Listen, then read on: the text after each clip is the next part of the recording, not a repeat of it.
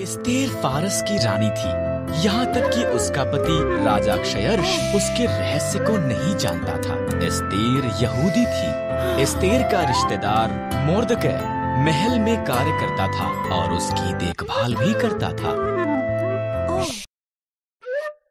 राजा क्षयर्ष के सलाहकार हामान ने एक बड़े इनाम को प्राप्त किया। वो बहुत घमंडी था। मोर्दके के सिवा हर कोई उसके आगे सिर झुकाते थे। हामान अपमानित हुआ। उसने मोरदके और सभी यहूदियों को मारने की प्रतिज्ञा की। हामान ने क्षयर्ष को बताया कि यहूदी खतरनाक थे और उन्हें मारना चाहिए। क्षयर्ष सहमत हो गया और उन्हें मारने की एक योजना बनाई। मोर्दकै डर गया था और रानी एस्तेर को ये संदेश भेजा। राजा के मन को बदल, मोर्दकै ने कहा अगर मैं उसके निमंत्रण के बिना जाऊँ तो वो मुझे भी मार देगा। एस्तेर ने जवाब दिया। शायद तो इसी पल के लिए रानी बनाई गई थी मोर्दकै ने कहा।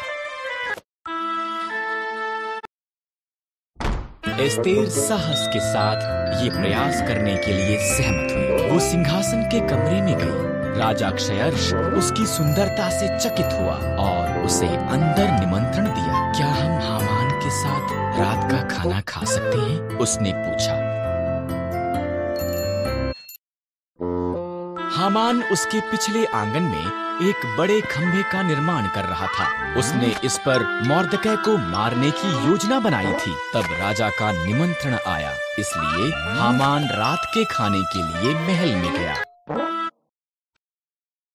एक मनुष्य मुझे और मेरे लोगों, यहूदियों को मारना चाहता है। इस्तेर ने राजा क्षयर्ष को बताया, कौन ऐसी बात करेगा? उसने पूछा, दुष्ट हामान। इस्तेर रोई, हामान, सिपाहियों, उसे मार दो।